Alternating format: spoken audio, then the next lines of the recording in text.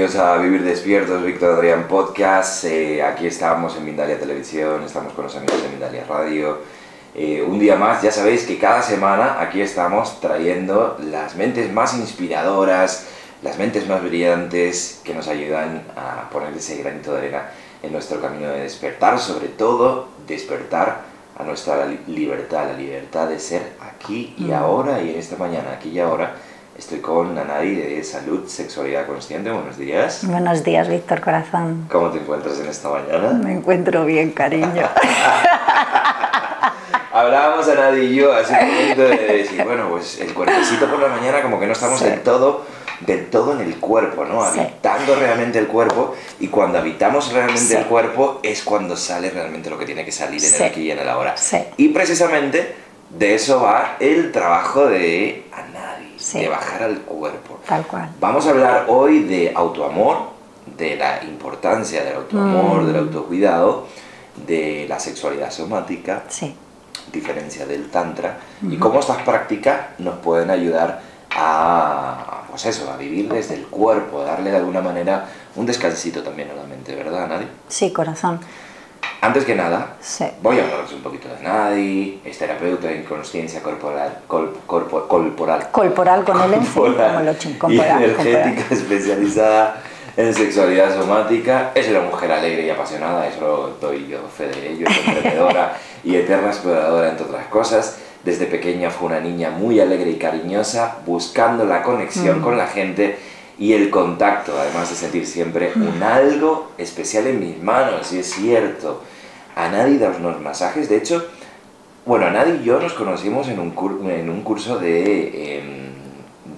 De, bueno, de, de, codependencia. De integración del niño interior y las heridas, ¿verdad? Efectivamente. Pero luego nos encontramos en, en Tailandia. Ese año maravilloso, en el que desde aquí un beso muy fuerte a Sara Veneros, porque aquí también está Tony Sánchez, que está con nosotros eh, mm. eh, en la grabación.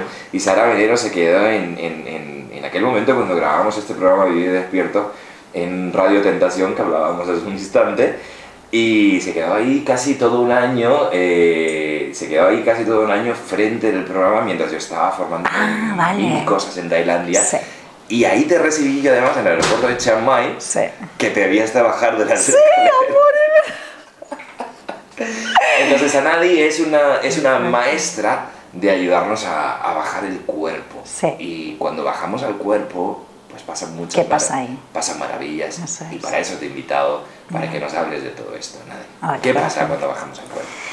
Pues mira, lo primero, gracias eh, por invitarme, cielo. Es un placer estar aquí. Me encanta, me encanta tu presencia, me encanta todo lo que estás haciendo, Víctor, y, es un placer, de verdad, estar aquí. Pues mira, para mí Tailandia, que, que, lo nombras, eh, fue como, la, como el despertar, ¿sí?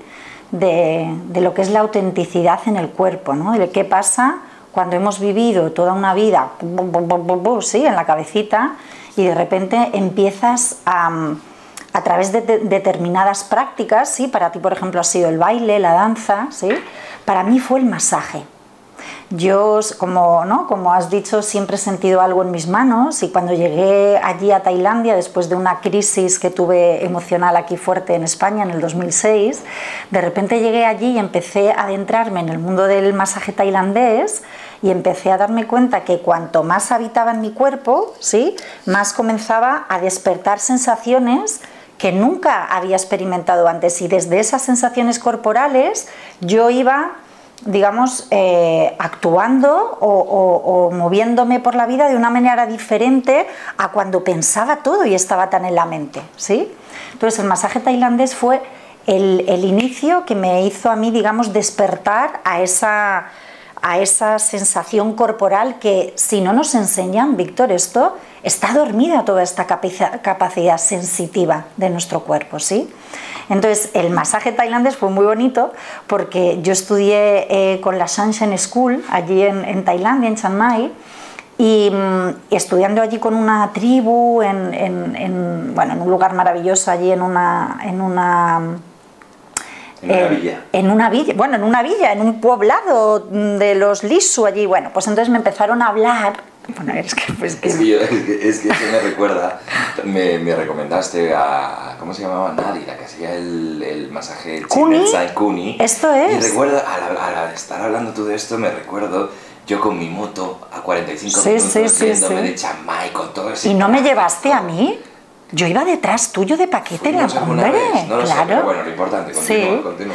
Bueno, pues entonces me hablaron de Cuni, esto es lo que te iba a decir. Mm, vale, vale. Y entonces eh, Cuni fue la primera, bueno, digamos que fue mi maestra, yo llegué allí a casa de Cuni y a mí me hablaban del masaje mm, Karsa Inetsan y del masaje Chinetsan, ¿sí? Y entonces cuando yo llegué allí, bueno, tuve una conexión con ella realmente, ¿no? Como, ostras, como que me parecía que esa casa yo ya había vivido allí, ¿sabes? De esto que te dan así como frases y ella tuvo esta sensación conmigo también. Y digamos que me adoptó, ¿sí? A mí y a otro, y a otro amigo griego, Spiros, pues nos quedamos allí a vivir con ella y nos adentramos dentro de toda la sabiduría del, del Tao, ¿sí? Que era el masaje Karsa Inetsan y el masaje Chinetsan, que es el masaje abdominal profundo y el masaje genital. Cuando yo comencé, Víctor, a sentir ¿no? y experimentar eh, todas esas ¿no? eh, mm, eh, eh, sensaciones, emociones, a entender que las emociones están guardadas en el cuerpo, ¿sí? Y que si no las escuchamos, ¿no? esto va generando ¿no? Pues, colapsos, bloqueos, etcétera, y cuando las escuchamos es cuando poco a poco pueden ir saliendo y liberándose. Cuando yo empecé a experimentar todo esto en mi propia piel, empecé pues a experimentar eh, cambios a todos los niveles, ¿no? A sentir cada vez mucho más mi mundo interno. Bueno, fue, fue un pelotazo brutal. ¿Sentiste, comenzaste a sentir cambios también a nivel cognitivo mental, Absolutamente. trabajando con el cuerpo, que es, es- es- Eso es. eso es lo interesante. ¿no? Eso es, sí. Que, que yendo al cuerpo, que es como una manera más directa, también hay cambios mentales, comenzamos a ver la vida diferente. Claridad. A claridad, a actuar de manera diferente. Sí, y hay algo también importante que cuando has hecho el comienzo, para mí es también una apertura de corazón, Víctor. Sí, cuando el cuerpo está, cuando no tenemos contacto con nuestro cuerpo, nuestro plexo, nuestro, eh, todo lo que es la zona de pericardio está cerradita. ¿sí? Cuanto más vamos abriendo, cuanto más vamos eh, permitiendo que todas esas emociones, que toda esa sensibilidad se vaya abriendo, ahí empezamos a conectar, como tú bien dices, mente, ¿sí? corazón y, y- y- y sexualidad, que es lo que yo llamo cuerpo-placer. ¿no? A mí me gusta mucho hablar de cuerpo-placer y esto es como bueno, la información que poquito a poco me ha ido llegando. Me encanta además este término de, cuer- de cuerpo-placer. Sí. Yo hablo por mí mismo, pero creo que en general como que estamos de alguna manera eh, cerrados al, al placer y al, y al, y al- Sí. y al gozar, Sí, amor. ¿no? En el aquí y ahora y a vernos realmente entregarnos a esa experiencia de placer, Sí. de alegría y de disfrute que es para la que, bueno, es es. para la que realmente estamos aquí y es nuestra naturaleza, ¿no? Eso es. Yo siempre digo como que nos hemos eh, venido, ¿no? Como que hemos ido viviendo desde el cuerpo dolor, ¿no? Como que ha, eh, eh, tanto en los pensamientos como en nuestra manera de sentir, como hemos estado educados en un cuerpo dolor que poco a poco, gracias a Dios, con todas estas herramientas y toda la, evolución de la conciencia, vamos viendo cada vez más cómo em, poder llegar a vivir el placer en nuestro cuerpo y cómo esto es capaz de sanar el placer como camino de sanación. Mm, qué, qué- frase, Pla- el placer como camino de sanación. es. Vamos a seguir conociendo a Nadie, ¿eh? Salud, sexualidad consciente. El año 2010, el 2006 se convierte en un punto de inflexión en su vida Mm. tras una separación eh, en la que pasaste dolor. Eh, era tanto dolor el que, paraba- eh, que pasabas y la sensación de estar perdida en un mundo que experimentabas que comienzan a despertarse en ti cuestiones existenciales Mm. que te llevan a, a este camino de búsqueda interior, dejando tu vida acomodada como publicista aquí en Madrid, como Sí. comentas, yéndote a, a Tailandia, estudiando diferentes técnicas occidentales de masajes, viajes a Tailandia, masaje tailandés, todo lo que nos has contado, pero ahí no acaba tu formación, porque Ujú. sigues adelante, como habíamos dicho al principio del programa, nos conocimos también en, en CODE, en la Ujú. codependencia, trabajo con el niño interior, pero han habido más cosas, seguimos yendo hacia el Eso futuro. es, eso es. Cuéntanos. Lo interesante, bueno, comencé también con Tantra y ahí empecé a experimentar de alguna manera también la conexión con el cuerpo y con el otro, ¿sí? Como que el masaje te ayuda, o a mí me ayudó a ir abriendo ese mundo interno, ¿sí? En mi propia experiencia y después con el Tantra comencé, ¿sí? Hacer ese trabajo eh, con el otro. Después del Tantra, mm, y de, como tú bien dices, de, todo el trabajo de las heridas primarias, llega a mi vida la sexualidad somática. ¿sí? Yo hago un curso de mm, em, una formación con Agustín Reyes, que, le amo profundamente, eh, de masaje genital consciente, ¿sí? como, como digamos complemento de este Karsa Inetsan con, con. Yo ya aquí en, en Madrid y en Barcelona y en Córdoba venía ofreciendo este masaje, porque aquí en España, claro, imagínate, Víctor, vienes aquí a España eh, hablando masaje genital. ¿Sí? Y es como, ¿qué me estás contando? Y, con ese cierre tan íntimo que claro, tenemos como cultura aquí. Hablamos, hemos hablado ya de tanto con, con Kuni, el Tao, que también viene de Mantachía, y bueno, el, trabajo del Chinetzain y también de los, de los, de los genitales. Hablas de, de aquí ahora con Agustín... Agustín Reyes Moreno. Reyes Moreno. Pero háblame un poquito de, la importancia de liberar, imagino, energía de los genitales. Tal cual. Y, por qué, y, qué es lo que se acumula ahí que tenemos que liberar. Eso es. Mira, ten en cuenta que la relación que nosotros tenemos con los genitales, desde pequeñitos, ¿cómo es, Víctor? Hay como una especie ¿no? de curiosidad que empiezas a tocar, porque obviamente todos nuestros eh, son, las zonas erógenas donde está los el sistema nervioso que despierta más placer y curiosidad. Entonces, cuando somos niños queremos tocar, sí, pero ¿qué es lo que ocurre? ¡Pum! Ahí no toques, ¡pum! Ahí no toques, ¿sí? Porque tenemos este concepto de eso es sucio, entonces comienza ya a haber una represión que el cuerpo va entendiendo, ¿sí? Y se va cerrando poco a poco. A eso que sumamos, Víctor, cómo son nuestras relaciones sexuales desde pequeños. ¿sí? No ha habido una, educación sexual clara, transparente, sin tabúes. Hay muchísimo, muchísimo tabú, muchísimo prejuicio, muchísimo miedo, culpa, vergüenza con la sexualidad. Entonces, todo esto va quedando en nuestra memoria corporal. ¿sí? Y entonces en los genitales eh, femeninos y en los genitales masculinos toda esta información también va quedando. En, los genitales femeninos, a ser receptores, ¿sí? va quedando dentro de la vagina, entonces todo el trabajo que se va haciendo ¿sí? para que todas esas paredes vayan soltando y entrando en confianza para ir con una respiración, sí, con un trabajo precioso, entrando en confianza, en soltar toda esa tensión que está ahí acumulada, es un, es un milagro realmente, Víctor. O sea, es un regalo. Que como lo comentas, lo que percibo es de alguna manera como ir aflojando esa rigidez y entrando a vivir en un cuerpo eh, fluido, ligero, placentero. placentero, que no esté rígido y cerrado. Ten en cuenta que cuando hablamos de la palabra placer, un tanto por ciento súper alto te sí pensaría placer coital. Sexo. Sexo, ¿sí? Pero ¿qué pasa cuando vamos experimentando que el placer, ¿sí? es, a mí me gusta llamarlo el placer del ser, es el placer que te lleva a, estar en tu día a día, en tu cotidiano, ¿sí?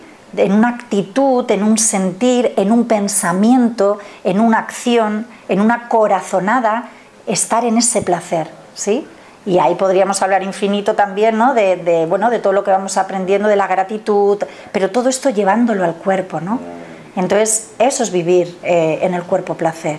¿sí? El ir experimentando todas esas sensaciones a través de la respiración, permitiendo que la energía sexual se vaya abriendo, ¿sí? Porque, ¿qué ocurre? Que cuando realmente tenemos los genitales, el abdomen, el plexo tan colapsado, no permitimos que esa energía, ¿sí? Cuando respiramos, vaya fluyendo de manera natural. Entonces estamos encogiditos. O sea, que otro de los trabajos que imagino que a lo mejor también hacéis en sexualidad somática es trabajar con el con el diafragma e ir desbloqueando con la respiración consciente. Sí, mira, en sexualidad somática, que eh, he tenido la suerte primero de hacer la formación con el Instituto de Cuerpo y Sexualidad de Barcelona y ahora como coordinadora aquí en Madrid del instituto estamos haciendo la formación eh, en Almería, en Barcelona y en Madrid. En esta formación, Víctor, lo que, donde, el, enfoque eh, primordial es en que exista un espacio de seguridad y confianza donde la persona pueda explorar su sexualidad. O sea, algo tan, tan simple y tan grande como esto. O sea, que a ti te de que a cada uno nos dé la oportunidad ¿sí? de explorar mi sexualidad, quién soy yo, cómo me he relacionado con la mujer, con el hombre, con mis genitales, con mis patrones, con mis miedos, con mis creencias y poderlo explorar con un grupo de personas afines a ti que están en esa misma búsqueda, es un regalo y es súper transformador. ¿Qué papel juega papá, qué papel juega mamá eh, a la hora de relacionarnos con los demás desde el punto de vista sexual? Mm. Bueno, esto es interesante también. Eh, no es un enfoque que tengamos eh, como, como, algo prioritario dentro de la sexualidad somática o dentro del programa, pero sí es cierto, como vimos ¿no? en, en la formación de codependencia, es fundamental sanar nuestra relación con, con, los papis, ¿no? Es algo básico. Cuando hay un, bueno, pues cuando hay un, un, bloqueo en, en una de, de, estas dos figuras, ¿sí? Se representa o bien con una sumisión o bien con un rechazo hacia una de las dos ¿no? eh, partes. Sí, es, es, es, muy importante trabajar eh, las relaciones con los padres. ¿sí? Me imagino que cuando abres el campo, como dices, en esos talleres, pues saldrá todo eso para que se pueda observar. Totalmente, totalmente. Claro, es que ten en cuenta que, en estos espacios, bueno, ahora estamos ofreciendo, eh, al, al, bueno, al haber más dificultades de hacer trabajos presenciales, estamos haciéndolo en trabajo también eh, online, ¿no? que es ahora mismo la, herramienta más potente que tenemos. Y siguen saliendo cosas, Víctor, ¿no? porque la gente tiene la idea como que si no estamos en lo presencial, no se da. ¿no?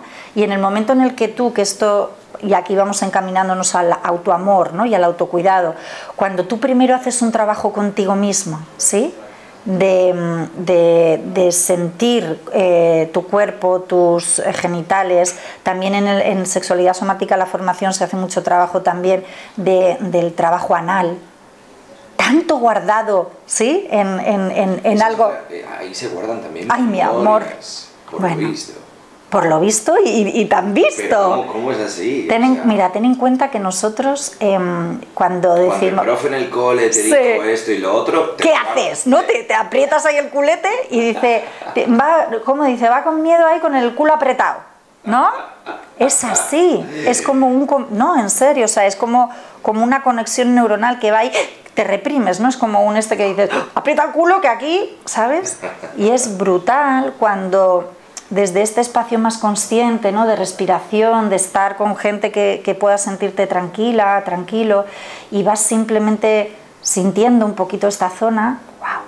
O sea, es la, una bueno, es que podríamos estar hablando tanto de esto y, contaros tantas como experiencias ¿no? que yo he ido viendo y, y, experimentando en mí misma.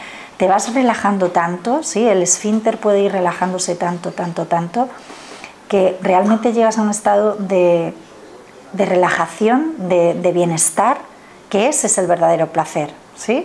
En el sentido en el que no hay quizás una excitación, que ahí diferenciamos, ¿no? El placer que, ¿no? que viene de la excitación y el placer que te lleva como a ese estado de bienestar, de plenitud, de no mente, ¿sí? Yo, yo a nadie, te soy sincero, no sé cuál de los dos es mejor. El, ese placer de estar, que yo lo llamaría agustera. Sí estar a gustito. Sí. Ese placer es riquísimo. Sí, amor, sí. Y además duradero en el tiempo. Eso es. Y no es, es que no van, no va, o sea, van de la mano el uno del otro, ¿sí?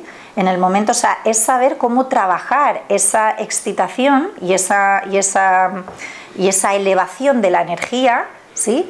Para poder ir expandiéndola de alguna manera por el cuerpo y poder eh, reconocer ese estado placentero de bienestar duradero, ¿sí? Es como, mm, por ejemplo, el hombre, eh, el cuerpo masculino, su pulsión en los genitales es mucho mayor. ¿Sí? Entonces, cuando siente una excitación, ¿qué ocurre? Que ¡boom! hay como, ¿no? como una necesidad de descarga. Cuando el hombre va aprendiendo en este autoamor ¿sí? y en esta trascendencia a ir vinculándose con todo el cuerpo, no solamente con los genitales, ¿sí? sino a ir eh, desarrollando esa sensibilidad en todo el cuerpo, ese, mm, esa pulsión ¿sí? deja de ser tan potente solamente en la zona genital y va expandiéndose al corazón, va expandiéndose por todo el cuerpo, se van a mí, por ejemplo, el año pasado, cuando yo viví la formación, me encantaba hacer, eh, por supuesto, ¿no? trabajos con compañeros porque veía esa transformación en ellos y yo me cagaba de verdad, de, admiración, de belleza, porque ver a un hombre, ¿sí? Y, es verdad que es un poco un cliché, ¿no? Pero que va cayendo en su vulnerabilidad, en darse cuenta de jobar todo wow, yo no entendía desde aquí la sexualidad, o, cuántas veces eh, eh, con una mujer he sido así o asado, ¿no? Y ver cómo van cayendo. Es como que estamos anclados mucho en, lo instintivo. Sí. Y lo instintivo es como rápido, fugaz sí. y, chao. Sí, sí, eh, sí, en lo instintivo y también en, lo mental, mm. ¿sí? Porque lo instintivo tiene que ver más con el cuerpo, Víctor, pero esto también es muy desde la mente.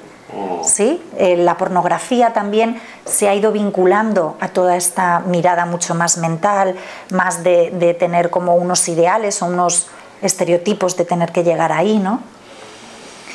Y con la sexualidad somática, Víctor, yo lo que he ido aprendiendo es como a normalizar, a naturalizar que así llamaba yo los, talleres eh, hace tiempo, naturalizando nuestra sexualidad. ¿En qué momento, en qué momento habrá entrado toda la vergüenza, todo el miedo, todo, Imagina. este miedo a, intimar con el otro desde, desde estos lugares? ¿no? Desde chiquititos, cariño, desde chiquititos. Yo siento que esto es algo, la energía sexual, Víctor, es tan potente es la vida. Mm, es la creación. Es la creación, amor. Entonces, en el momento en el que tú, de pequeñito, puedes incluso sentir atracción por tu, por tu papá mm. o por tu mamá, ¿sí? Y tu papá y tu mamá sentir atracción hacia ti, porque es atracción energética, ¿sí? Entonces, esto imagínate hablar de esto cuando es pequeño, ¿sí? La propia madre o el, perdón, el propio padre también se le generan muchos miedos y muchas dudas, y, ¿sí? Entonces, no, de verdad no nos han educado a, transmutar esto, a normalizarlo. Pero vamos, vamos a una nueva humanidad, estamos a, de camino a la libertad. Voy a leer una de, las frases que aparecen en tu web, que en tu web. Creo firmemente que la evolución del ser humano y la conciencia va ligado a la capacidad de transformación y desarrollo saludable de nuestra energía sexual. Esto de alguna, a nadie. Esto de alguna mm. manera resumiría todo lo que estamos hablando, ¿no? Es así, amor. Ten en cuenta que cuanto tú más a gusto estás contigo mismo y con tu sexualidad, en tu cuerpo, en tu respiración, en tu gozo, en tu autenticidad, más puedes eh, iluminar desde ese lugar, ¿sí? Más puedes estar eh, pues como tú has dicho, agusteras, ¿no? pues agusteras. Estás agusteras contigo y, estás agusteras con el otro, ¿no? Y también hay, yo quiero como lanzar también ¿no? un falso mito en este mundo y es que, bueno, pues cuando ya empiezas con todo esto de la sexualidad consciente, va, va todo es como súper fácil, ¿no? Como te lías con uno, te lías con otro y todo, sí, porque hay una idea también mucho de, esto, ¿no? De que como que se abre a las puertas hacia, em, hacia, una, hacia, un, ¿no? hacia como una facilidad en esos encuentros. Y también lo que ocurre es que cuando empiezas a profundizar, y esto es en lo que Anita, mi, mi compi Anita Picardi y yo somos especialistas, y el, el, taller que hacemos ahora en Ibiza viene a colación con esto, con los límites, empiezan a salir todos estos miedos, todas estas vergüenzas, todas estas mm, culpa y todas estas sensaciones internas que eh, es necesario saber gestionar, ¿sí? Entonces es, importante que dejemos eh, salir, ¿no? que dejemos que salga todo este mundo interno que ha estado ahí guardadito y no, ¿cómo te digo? O sea, darle su valor, su contención. Ahí creo que comenzamos a entrar en el, en el autoamor, Eso es. poner límites, en el quizás si algo que no te apetece hacer en ese aquí y ahora, en ese momento de momento, no hacerlo y respetarte. La comunicación es básica. En la sexualidad somática, Víctor, en la formación trabajamos muchísimo el tema de la comunicación. ¿Sí? Hay muchas dinámicas en las que estás continuamente desarrollando la comunicación con tu compañera o con tu compañero en esa escucha interna de qué necesito yo ahora, por ejemplo, ¿no? ¿Qué necesito? ¿Sí? Tú estás ahí en, una práctica y es como, durante cinco minutos vamos a ver qué necesita tu cuerpo. ¿Sí? Entonces tú cierras los ojitos, respiras, cómo está tu cuerpo ahora, haces un escaneo interno y te preguntas, ¿no? ¿Qué necesita mi cuerpo? Pues mira, por ejemplo, ahora mismo el cuello es lo que más tenso tengo y me vendría genial simplemente que unas cosquillitas en el cuerpo. Eh, pues mira, ahora sí, o sea, vas empoderándote de lo que realmente necesitas, de lo que realmente necesita tu cuerpo, porque de eso es de lo que hemos estado desconectado. ¿Sí? Nos hemos dejado todo el rato influenciar por lo que escuchamos o por lo que vemos o por lo, sí, pero no estamos en contacto con lo que realmente necesita nuestro cuerpo, lo que realmente necesitamos, que eso es lo que nos va a sentar bien, donde vamos a estar a gusto. ¿Sí? Si no me voy a dejar influenciar todo el rato por lo que me diga Tony, ah, pues, eh, pues mira, nadie, ¿por qué no haces eso? Ah, pues mira, Tony, sí, lo voy a hacer. Pero no estoy dejando sentir si eso me viene bien o no. A ver, ¿quiero hacer eso? Pues no, no quiero hacer eso. ¿Sí? Y esto no nos han enseñado de verdad a tener ese, para mí ese es el empoderamiento real. En el día a día, para todos los Por ejemplo. En el día a día, para todos los amigos que, que nos están viendo, eh, pequeñas... Eh, perlitas, ¿no? Pequeñas perlitas para que podamos yo, por ejemplo, diría que bailemos todos los días dos horas. Esa sería, dos horas, ni más ni menos, vámonos. Ese, sería mi tip, ese sería mi tip y que siempre lo, lanzo por ahí, porque sueño en una humanidad. Ayer iba por las calles de Madrid con mis cascos. Ya, amor. Feliz, conectado con mi cuerpo. La gente me miraba y, me daba igual. Sí. Pero tips tuyas para que poco a poco vayamos conectándonos con, conectando con nuestro cuerpo y, bajando, bajando de aquí y conectando esto con esto. Sí. Pues mira, para mí el baile me lo apunto, ¿vale? O sea, me lo hago también mío, Víctor, sé que eso es súper linda, pero es, el baile es fundamental, cariño, la danza es fundamental. Em, hay algo que mientras estabas diciéndolo me, me, venía así todo el rato, ¿no? Que es la inocencia, el juego y la diversión. Cuando nos volvemos muy serios con la vida y con todo, perdemos esa esencia juguetona esa esencia de, la inocencia, de, y ahí es donde realmente puede aparecer el cuerpo placer, el, ¿sí? Si nos lo tomamos todo súper en serio, es como que, ostras, todo se hace, el cuerpo se va... Claro. Tú ayer cuando estabas con los cascos, ¿qué eras? ¿Un niño? Total. Un niño volando, ¿eh? ahí con su música y su placer y su hola, ¿qué tal? ¿Vale? Entonces, ¿cuáles son los tips fundamentales? Para mí, el reconocimiento del cuerpo, o sea, estar en contacto con el cuerpo por la mañana, despertarte por la mañana, igual que te levantas a lavarte los dientes, quédate cinco minutitos contigo. Respira, siente tu brazo, siente tus piernas, siente tus genitales, tu abdomen, tu, tu pecho, cómo estoy, cómo he dormido. Respira. Te puedo asegurar que cuando te levantes va a ser otro mundo diferente a eso de despertarte con el despertador. Joder, pi, pa, lo que. ¿sí? De, cogerte el móvil, de, ver, chequear. Sí, tal cual, ¿eh? Oye, que todos lo hacemos, porque yo, soy el primero, pero vamos a ponernos eh, esa práctica. De verdad. Esa práctica de levantarnos, de irnos a lo sensorial. Eso es. Las sábanas, cómo está la temperatura. Ir al cuerpo, Víctor, ir al cuerpo. Es que esto es fundamental. Si no, la neura, ya desde por la mañana hola, ¿qué tal? Me levanto contigo, ¿sí? Entonces, el,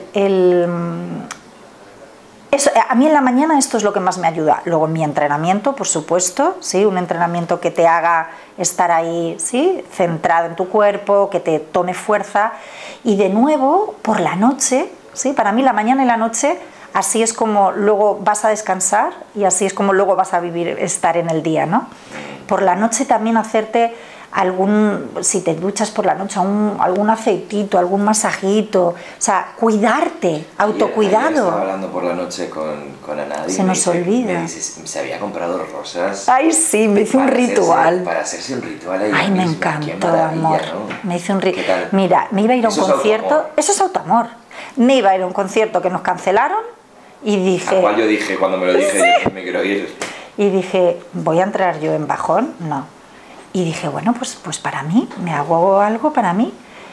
Y eso es el autoamor, cariño. ¿sí? No entrar en el bucle ni en la mente em, ¿no? que nos hace daño y que, que está ahí, tacatá, tacatá, tacatá, y poderlo transformar y trascender desde el propio autoamor, desde el cariño, desde el cuidado. Cada uno sabe cuáles son sus herramientas principales, ¿sí? Hay gente que, por ejemplo, el cocinarse un plato rico, ¿sí? Estar ahí una tardecita tiqui, con su platito, es lo más gozoso de la vida, ¿sí? Entonces esto es el autocuidado, esto es la escucha. ¿Qué necesito ahora para estar más para ser más fiel y más auténtica con mi, con mi realidad actual, con lo que necesito en este momento, ¿no? Y realmente se trasciende, Víctor, trasciendes muchos miedos. O sea, yo he hecho la mirada atrás, me acuerdo la, última entrevista con Mireia que me hacía, que, que me, di, me dio así como un clic, digo, Dios mío, eh, claro que esto es un, es un estilo de vida, es un camino, esto no es que ya yo ya he llegado a la trascendencia de todos mis patrones. No, esto es un camino continuo, ¿no? Pero yo me acuerdo, claro, la, mm, la, la Nadi, la Dianita de hace unos años, ¿no? Sus miedos, sus, bueno, sus, eh, sí, joder, to, to, todo ese, todo lo que tenía ese ser humano ahí guardadito, cuando te puedes permitir cada vez liberar más tu cuerpo y sentirte más a gusto en tu cuerpo. Y respirar a nadie de saludsexualconsciente.com. Mira, esto por ejemplo es sentir el cuerpo. Sí, amor. Es irnos a lo sensorial. ¿No? Es así. De esa manera también me gusta a mí el contact, la danza contact, Ujú, ¿no? sí. Como que te va llevando el cuerpo. Total, ¿no? todo lo que sea Y contacto. puedo, y, puedo, y puedo asegurar que lo que a nadie nos está contando es cierto porque puedo sentir tu energía. Oh, baby. Energía, qué. A nadie de saludsexualconsciente.com, eh, pásalo muy bien en Ibiza, sé que te vas, Sí, a estar por ahí 17 días. Sí. Eh, estás bienvenida, estás invitada cuando quieras aquí a Vivir. Despiertos. Ya Volveré, sabéis, aquí en volveré. este programa Mm. apostamos por, traernos, por traeros eh, personas que realmente nos aporten Sí. a- más que a la mente a que nuestra experiencia vital aquí y ahora Sí. sea de lo más placentera y de lo más Y abrir eh, corazones y armónica sí, armonía, eso es. Muchísimas gracias, Anadi. Yo soy. Víctor Adrián. Nos vemos en un próximo programa. Gracias, Tony Sánchez, por estar aquí. Eh, que seamos felices. Hasta Sí, pronto. Besito, Chao. gracias.